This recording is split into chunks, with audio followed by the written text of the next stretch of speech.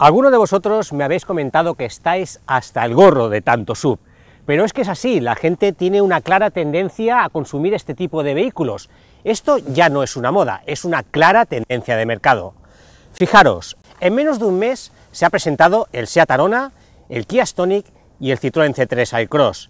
Y ahora Hyundai nos presenta otro sub dentro del segmento B, el Hyundai Kona, un Kona que se suma a la gama de Hyundai después del Gran Santa Fe, el Santa Fe y el Tucson, pero que no tiene nada que ver con ellos. Es un coche más pequeño, más urbano, más juvenil y con una estética más atractiva.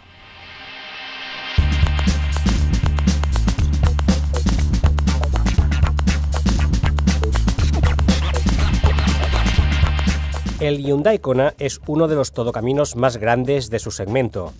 Mide 4,16 metros de largo, prácticamente lo mismo que un Peugeot 2008 y un poco más que un Renault Captur o un Nissan Juke. En anchura solo le supera el Jeep Renegade. Esto hace que su espacio interior sea amplio y pueda llevar hasta 5 adultos de forma cómoda, más cómoda de lo esperado. Este Hyundai se construye con una plataforma nueva que puede montar todo tipo de motores, los dos de gasolina iniciales, el diésel que llegará el año que viene e incluso un sistema de propulsión eléctrica que vendrá también a mediados de 2018. El Kona eléctrico tendrá una autonomía de 350 o 500 kilómetros. Se descarta de momento una versión híbrida.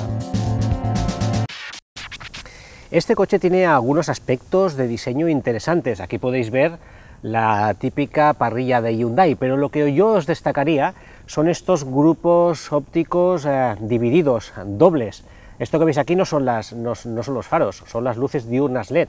Los faros son estos de aquí, en este caso unos halógenos. Y un poco más abajo encontramos los antiniebla. Este diseño no es muy original, la verdad. Citroën ya lo puso de moda y uno de sus competidores, el Citroën C3 Aircross, lo mantiene. Si vamos al lateral, os destacaría otros aspectos. En este caso, el techo que podemos pedir en color negro o gris y que tiene además estas barras de techo perfectamente integradas. Y por otro lado también nos destacaría estos marcados pasos de rueda que nos indican claramente que el Kona es un todo camino. Unos pasos de rueda, por otro lado, que son bastante originales, como podéis ver, porque enlazan con las ópticas traseras y también con las ópticas delanteras. Otra cosa será comprobar con el paso del tiempo hasta qué punto estas luces resistirán los golpes con una columna de un parking. Y en la parte trasera llama la atención este gran spoiler que le da un aspecto muy deportivo al coche, que además tiene la luz de freno también integrada, y estas dos ópticas que recuerdan un poco en su diseño a las del Tucson, y por lo tanto desde mi punto de vista es un diseño bastante acertado. Para gustos, colores. Y es que el cliente puede escoger entre 10 colores de carrocería diferentes y combinarlos con los dos tonos del techo disponibles y lo mismo puede hacer con el interior, decorarlo a juego con los colores del exterior y así personalizar el coche según el gusto particular. Estas son las molduras que podemos personalizar y pedir con el color que prefiramos. Pueden ser naranjas, como en este caso, o bien amarillo lima o rojo.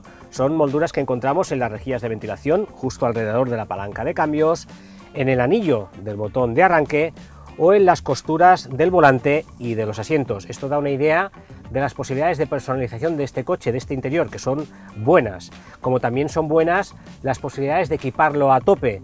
En esta versión tope de gama que os estoy presentando encontramos volante con calefacción, asientos con calefacción, refrigeración y posibilidad de regularse de forma eléctrica tanto en longitud de banqueta como en inclinación de respaldo. También encontramos un cargador de móvil inalámbrico de tipo inducción.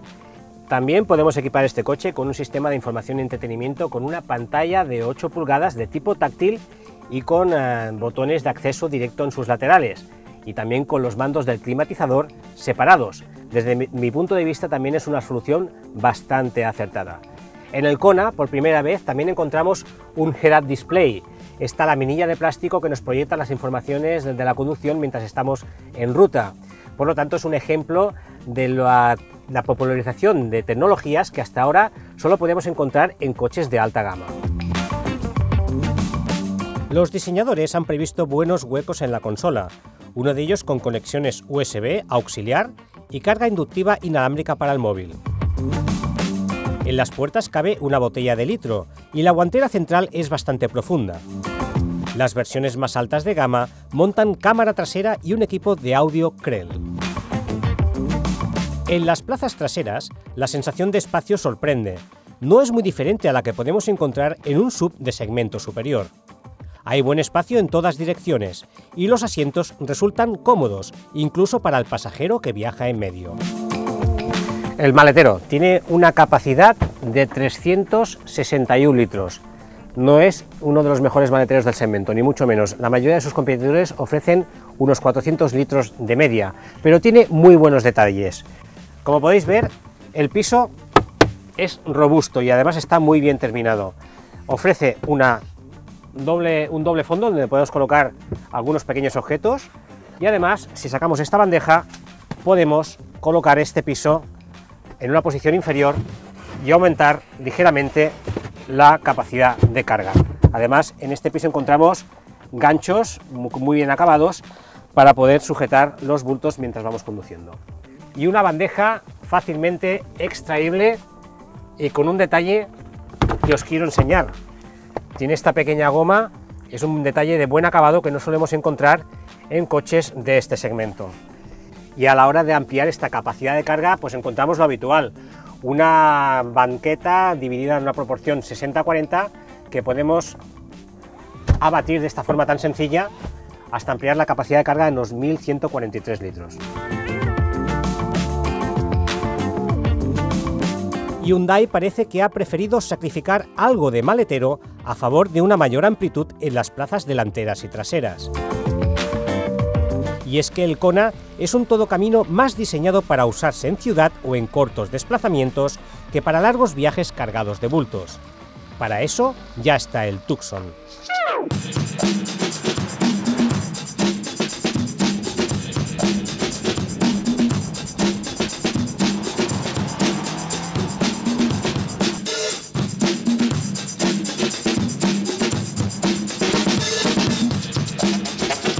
La gama de motores es muy sencilla, de momento solo se va a vender con dos motores de gasolina, un 1.0 de 3 cilindros que da 120 caballos y un 1.6 turbo de 4 cilindros que ofrece 177 caballos, que es precisamente el motor de la unidad que estoy conduciendo en estos momentos. De los dos, el que más se va a vender va a ser con toda seguridad el 1.0 de 3 cilindros. El más potente, el 1.6, se dirige a aquellos que busquen un Kona con un comportamiento un poco más deportivo es precisamente el 1.6 el único que puede ir unido a un cambio automático de 7 velocidades, un cambio automático que por cierto va muy rápido y es muy preciso. Además, es el único que permite escoger entre tres modos de conducción. Eco, para ahorrar gasolina, Confort, un sistema de conducción normal, y Sport, en el que el motor ofrece una respuesta un poco más deportiva. Y os estaréis preguntando, ¿y no hay motor diésel? Pues sí, lo habrá, pero de aquí a un año, cuando Hyundai se decida a comercializar un 1.6 turbo nuevo que ofrecerá una potencia entre 115 y 136 caballos. La conducción del Kona es fácil y segura. En carretera, allí donde apuntas, allí va, de forma rápida y con muy buena estabilidad. La dirección es muy directa, está bien asistida. Las suspensiones son firmes, incluso un poco secas si viajas de vacío. La mayoría de versiones llevan eje trasero con barra de torsión, pero las que tienen tracción 4x4, como la que he podido conducir en este primer contacto, utilizan un sistema multilink, que por lo visto da muy buena motricidad. El coche se nota en general muy ágil y ligero. Con el modo deportivo activado, esta sensación es mayor, ya que el motor reacciona de forma más viva y el empuje es todavía más contundente. En esta versión automática he echado en falta, eso sí, unas levas de cambio que permitiesen disfrutar más de la conducción. No están disponibles ni como opción.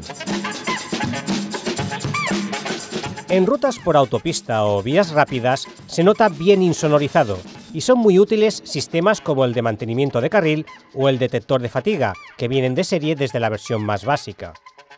También equipa frenado autónomo de emergencia con detector de peatones, detector de ángulo muerto y alerta de tráfico trasero. Es difícil encontrar sistemas de tracción 4x4 en subs de este tamaño, más bien pensados para circular por ciudad o por carretera. Pero ¿por qué no? ¿Por qué no colocar un sistema de tracción integral? Esto es lo que se preguntó Hyundai y es lo que ha hecho en el Kona, colocar un sistema de tracción 4x4 para satisfacer a aquellos que nos gusta circular por la montaña y pasar por sitios no demasiado complicados, pero por los que difícilmente pasarías con un turismo convencional.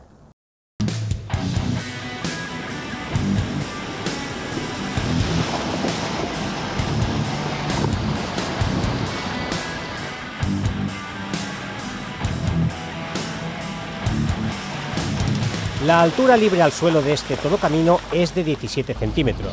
No es para tirar cohetes, y tampoco los neumáticos y las llantas son los ideales al estar más enfocados a un uso en asfalto. Es fácil que circulando por pistas toquemos con el paragolpes en el suelo al primer desnivel de importancia. Pero también es cierto que el sistema de transmisión 4x4 da una cierta confianza para circular por pistas. Deriva del que se utiliza en el Tucson y es el típico de un todo camino. Se basa en la acción de un embrague multidisco en posición central que reparte el par motriz entre los ejes según se necesite. Si uno de los ejes pierde tracción en alguna de sus ruedas, el sistema transmite más par al otro eje. En el Kona se puede además bloquear ese reparto al 50% para circular con más seguridad por los pasos más difíciles. Esta versión con tracción integral y cambio automático también equipa control de descensos, que el conductor activa mediante un pulsador y aplica los frenos de forma automática para ayudar a controlar el coche en las fuertes pendientes. Todo esto hace del Kona un coche más versátil, un sub no solo para usar por ciudad a diario o en carretera al fin de semana, un todo camino también para salir fuera del asfalto si queremos. El Kona ya está a la venta a un precio que va de los 18.990 euros que cuesta la versión con motor 1.0 de 3 cilindros y acabado Essence, y los 31.790 euros de la versión Style con el motor 1.6 TGDI de 177 caballos, la que veis en este vídeo. Hay otros dos acabados intermedios, Tecno y Class. También debéis tener en cuenta que en el momento del lanzamiento hay una promoción que puede llegar a los 5.000 euros de descuento sobre estos precios de tarifa.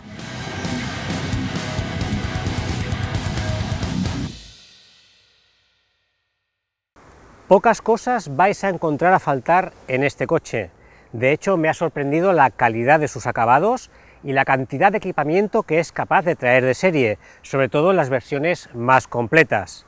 Los fabricantes coreanos son los grandes especialistas en ofrecer mucho a un precio razonable, y el Hyundai Kona es un claro ejemplo de ello. Falta hacer un comparativo con sus principales rivales, algunos de los cuales acaban de llegar al mercado, como os he dicho al principio de este vídeo, un comparativo que os ofreceremos muy pronto, pero me atrevería a decir que el Hyundai Kona será una de las grandes referencias dentro de este segmento.